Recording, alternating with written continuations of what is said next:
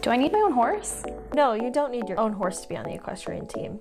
For practices, our coach provides horses for us to ride during lessons. For shows, you also do not need your own horse because the school hosting the show provides the horses for you to compete on. What kind of riding do you do? Jumping? Through IHSA, there are four types of riding you can do. For the Western team, there is reining and Western horsemanship. For these four disciplines, you are judged on your upper and lower body positions, your ability to maneuver a horse through the pattern or rail work, and other components specific to the event. Can I still ride if I've never ridden before? Absolutely. We welcome beginners and even riders from other disciplines. In IHSA, the association in which we compete in, there are classes for all skill levels, starting at beginner walk trot up to open and advanced classes.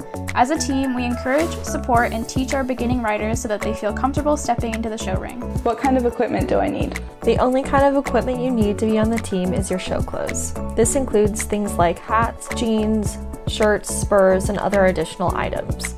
Often, teammates will happily loan you any item you are missing from your show wardrobe. You do not need to bring any sort of horse tack like saddles or bridles. I don't have a car, is that a problem? Not a problem at all. We try our best to carpool as much as we can to lessons and other team events.